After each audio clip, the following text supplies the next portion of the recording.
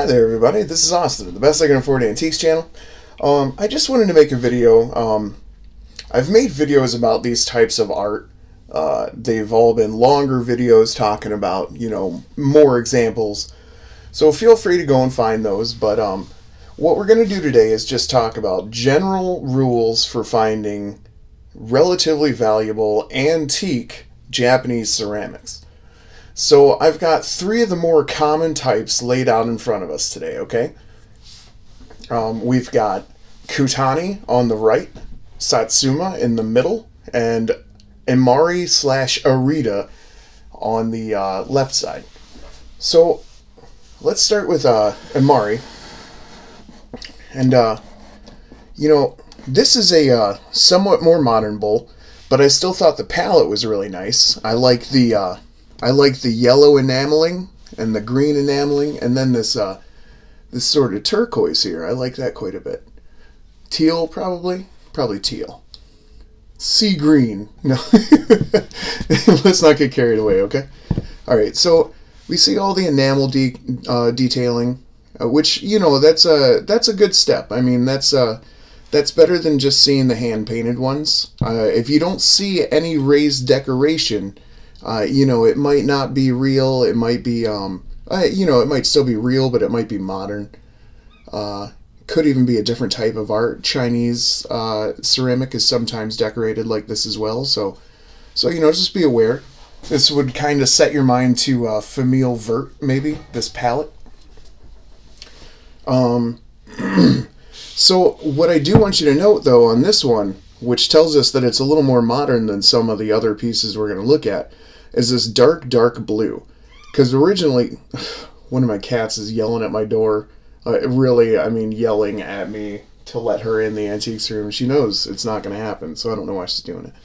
But uh, you'll note this uh, darker blue, and if we look at the piece directly behind it, we can see that um, though there is some darker blue, it's more because they've stacked on, um, you know, layers of the lighter blue shade they had. Like you can see there's darker blue dots over here, but that's kind of like they've done that three or four times with a drop of ink versus this, which is just a very dark dye. So I believe this will be older, um, genuine antique, uh, before 1930, uh, Meiji era Japanese, and done with a genuine cobalt dye versus this, which would be done with a uh, synthetic dye. So that's not only how to uh, how to spot Imari, but also how to spot older Imari.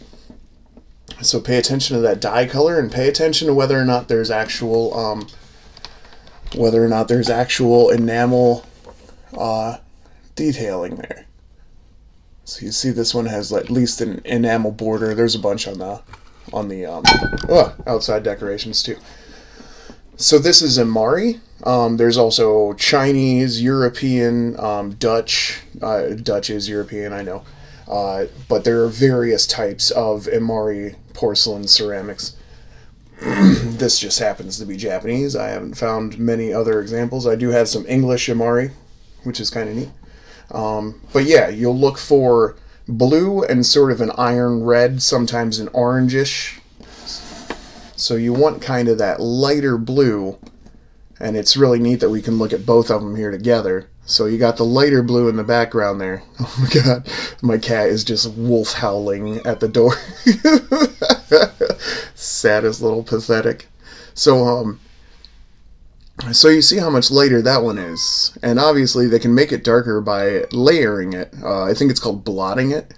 But uh this obviously just comes out much darker. Kevin, I cannot believe you're yelling at me like that. Just, just give me 10 minutes. I love you. Sorry, we had to have a little talk about it. Okay, so that's Imari, and those are usually on Arita pottery. So actually, Arita pottery um, will be this sort of white pottery, a very nice white pottery, and uh, it'll usually be decorated in blues, sometimes golds, but uh, but yeah, that's kind of what that'll look like. It'll look like without the uh, red and green and all that. Just maybe some blue and gold decorations on a nice white ceramic, and that'll be Arita, which these actually are, but they come from the port of Imari in Japan. And we've already talked about this, so I mean, just go find the other videos. We'll be fine. It's so cold in my antiques room today. I feel like I am I am just gonna. okay, so um, you guys may have seen uh, Antiques Roadshow just a couple of weeks ago. They did a they did a ladies' vases, um, Satsuma vases, and they were talking about. Uh, she had some Kinkozan pieces, which actually I have two Kinkozan pieces. That's one of them right there. We're going to talk about that. Um, she had some various uh, Satsuma pieces. Now, if you want to know how to identify Satsuma, a lot of the times uh, most of the time, it's going to be decorated with some sort of gold gilding, and then um, likely going to have some sort of enamel, uh, which is called moriage, or some type of uh, moriage decoration, whether it's clay or enamel. Uh, I think I see most of the older pieces have enamel uh, moriage. So, one of the things we can learn from this vase, I mean, obviously, just looking at it here this is well painted, and this isn't even top of the line. This is not a five thousand dollar vase. You know, this is uh, this is more than that. I mean, not more than that, but you know, it's it's worth a fair bit. It's just not uh, you know thousands and thousands of dollars. But you can see that even not as the uh, pinnacle of this art, how much detail is in it, and I'll I'll let you see how big that is. That's uh, six inches, five inches. And I mean, look at how much detailing their clothing and stuff has. Uh, these are going to be the seven immortals and a dragon, I do believe. Eight? How many immortals are there? I forget. Look at the heavy gold gilding to uh, put whatever's in his hand there. Maybe a teapot or something. There's a scroll over in this guy's hand. I mean, those are big drops of gold. So Satsuma ware is typically defined, well, I mean, um, typically noted as a uh, gold gilt uh, in varying stages. But uh, one thing that doesn't vary, if it's Satsuma, it'll have a cream colored crackle glaze. Do you see how tiny those little crackles are? But just the same, that's what it's going to look like all the time. Uh, so then we have, um, well, I mean, I want to say all the time, but I mean, really, we're just looking at rules to, uh, to, you know, to generalize. Um, this is a Shimazu clan crest, and it's a uh, cross in a circle, and uh, that's the uh, clan who ruled the region of Satsuma, which is kind of like a county state. So yeah, uh, that's one thing to look for. I mean, look for that amount of detail. If you see one of these and you're thinking, you know, maybe it's Satsuma, you really have to look and see, you know, is it done by a person who had literally all day to sit there and do this? Or is it done by a person in the modern era who's just pushing things out? So, I mean, you can learn a lot from details.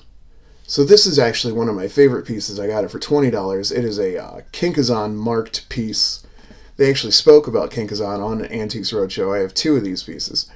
Um, and again, we'll note that this is a Satsuma piece, and this is kind of breaking all the rules. You'll see ones that are a little bit funny, and that's why I use this as a specific example.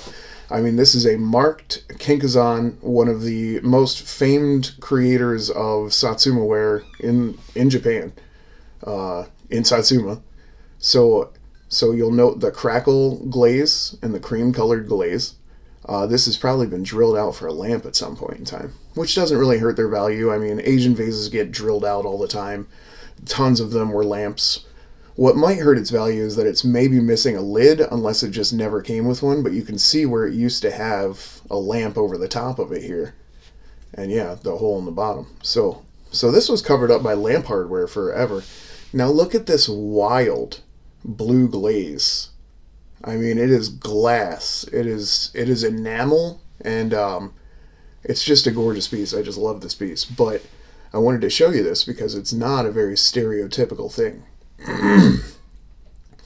Definitely breaks the rules of kind of the uh, browns and golds of Satsuma. Yeah, just crazy enamel decoration. And it's so crazy that my camera just literally despises it. It cannot handle it. Okay, that's a little better. So yeah, that's just a beautiful piece. And, uh, you know, Kinkozan Satsuma, uh, you know, we're looking for uh, characteristics similar in all their pieces. So, so the cream color crackle glaze and Asian writing, that's uh, pretty indicative. So then last up we've got Kutani, and I've shown you these pieces too, but um, Kutani, uh, gold and iron red were their colors. I mean, that is that is what they mostly did. I mean, it'll be somewhere on the piece typically. Uh, that's not to say older pieces didn't have a different palette somewhat. I mean, I've seen, you know, uh, kind of similar to that turquoise in the in the Imari piece right there, kind of similar to that. So, you know, take it with a grain of salt. But but Kutani um, are famous for their outrageous decorations. I mean, if you look at if you look at how large this piece is, and then we look at the um, scroll work. I mean, this is done with like a hair. Do you see how intensely tiny that scroll work is? So Kutani um, ceramics were just famous for their detail and their uh, and their beauty. I mean, really. So we'll just briefly look at this so you can kind of get a, you know, details. They're so important. I'm going to do a, a video on details pretty soon because I mean, you know, again, we're looking at something the size of my the size of my thumb and look at how many tiny stripes they've painted on this. Come on now. Come on now.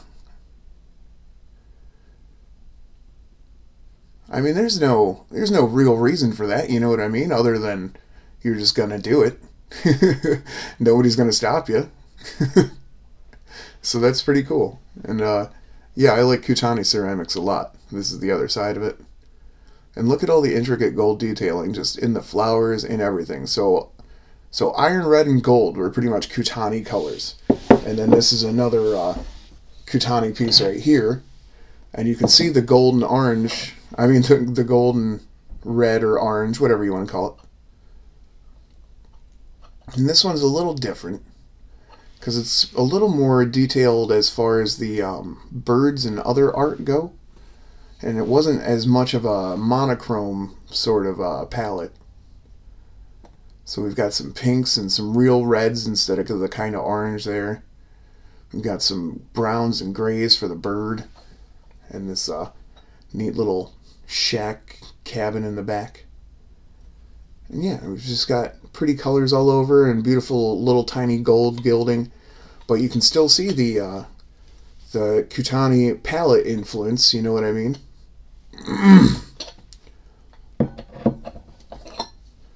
and then uh, under the lid we've actually got another portion and that has a little bit more of the iron oxide and gold so yeah these are just uh, things to generally look out for um, as far as Asian ceramics I would think every piece here is worth at least um, God at least like $60 um, uh, the slightly more modern bowl, you know, a little less expensive. This little basket guy here, I think, a little less expensive. But I think uh, I don't really know about the pieces in the background. I mean, you know, Antiques Roadshow saying that a Kinkozan piece that's much different than mine and uh, doesn't have a hole drilled in the bottom of it uh, is worth like I, forget what they said, five hundred. Uh, was it that one two thousand? I, I forget. I forget. It doesn't really matter because I'm not going to sell these things because I uh, I actually collect all this Japanese stuff because I love it, and uh, that's where we're at on that.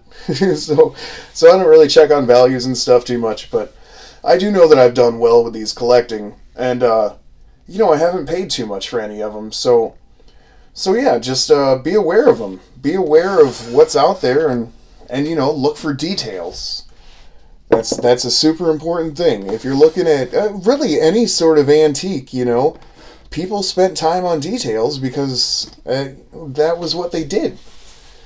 They weren't getting paid to push out 50 of these in a day. They were getting paid to make magnificent things and, you know, and yeah, you can find them just by knowing what a magnificent thing looks like.